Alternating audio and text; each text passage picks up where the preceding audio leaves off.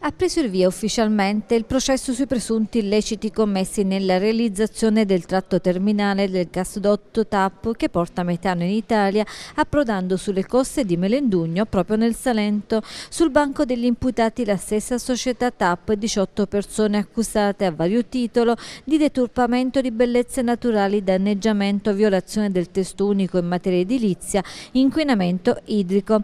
L'udienza si è tenuta davanti al giudice Maria Francesca Maria Mariano, i legali hanno esplicitato le eccezioni sui capi di imputazione ritenuti a loro dire nulli, poiché troppo generici e sulle nullità del decreto per omessa indicazione delle motivazioni dei capi di imputazione stessi.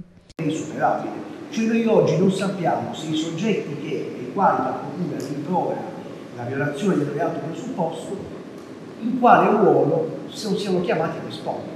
Posizioni rispedite al mittente dal PM Prontera che ha spiegato ed è entrato nel merito dell'iter delle fasi investigative. Il capo 1 qui recepisce squisitamente il capo 1 gli esiti dell'incidente probatorio che varranno solo per quel capo 1 e quindi non è più nel corso ma diventa iniziato e proseguito. Guardate che la scelta delle parole non è casuale